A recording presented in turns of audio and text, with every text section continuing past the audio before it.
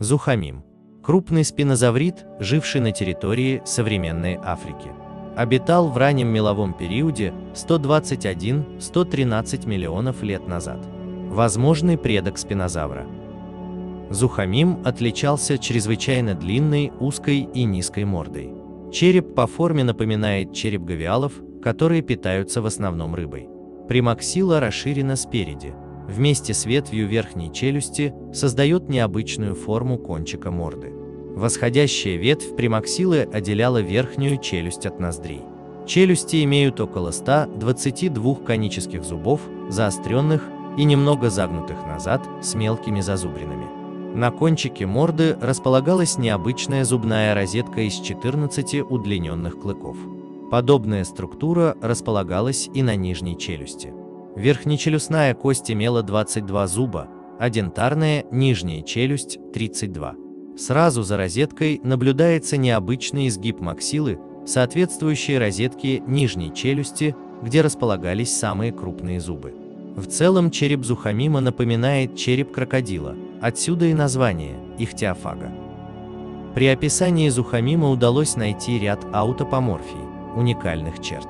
Так, невральные шипы крестцового, задней части спинного и передней части хвостового отдела позвоночника расширены в боковом направлении. Внешне они напоминали лопасти и образовывали низкий гребень, тянущийся до середины хвоста. Самые длинные шипы располагались на пяти крестцах. Верхние углы плечевой кости были крепкими. Над мыщелком плечевой кости располагался костяной нарост, соприкасающийся с крючковидной лучевой костью. Шея относительно короткая, но мускулистая, на что указывают эпифизы шейных позвонков. Вилочка имеет V-образную форму и указывает на высокий и узкий столб. Плечевые кости сильные, сравнимы с таковыми у мегалозавра и торвозавра.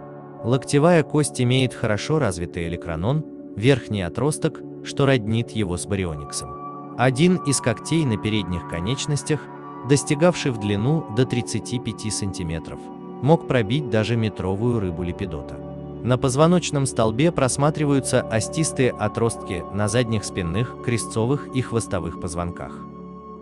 Зухамим относится к семейству спинозавриды в составе надсемейства мегалозавроиды.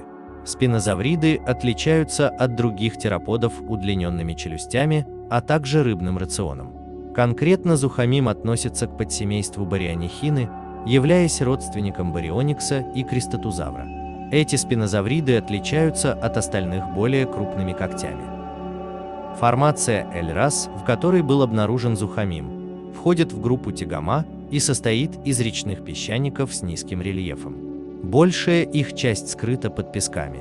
Преобладают отложения крупно- и среднезернистых горизонтов, мелкозернистые почти отсутствуют. В период Аптского Альпского яруса на этом месте была зона речных пойм быстрых рек, климат был тропическим, с ярко выраженным засушливым сезоном. Такая местность была домом для большого количества птерозавров, динозавров, крокодиломорфов, черепах, двустворчатых моллюсков, а также акул-гибадонов.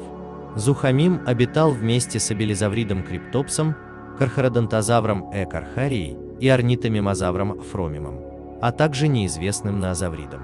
У него практически не было конкурентов среди других динозавров, так как Зухамим был ихтиофагом, ему приходилось мириться с крокодиломорфами сарказухом и арарипизухом. Кроме рыбы зухамим мог охотиться на анатозухов, уранозавров, лурдузавров. Молодые особи могли также употреблять в пищу крупных эльразозового. Завроподы из той местности были представлены нигерзавром и неизвестным титанозавром. Учитывая их предпочтения, флора могла включать папоротники, хвощи, заросли покрытосемянных растений и даже привычные нам деревья. Считается, что Зухамим ловил крупную рыбу, как цапля выхватывая ее из воды с помощью своих челюстей, но мог использовать и когти, просто-напросто протыкая добычу, словно пикой.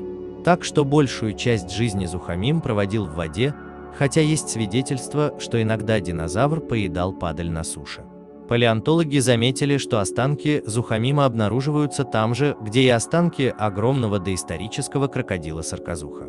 Вероятно, эти рептилии были прямыми конкурентами друг другу, Однако это не помешало им жить бок о бок на протяжении долгого времени. Нужно заметить, что некоторые палеонтологи считают зухамима не отдельным родом динозавров, а одним из видов барионикса.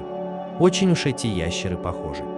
Но большинство ученых соглашаются, что зухамим – самостоятельный род динозавров, состоящий в близком родстве с бариониксами. Пока на этом все. Дополняйте в комментариях. Спасибо за просмотр.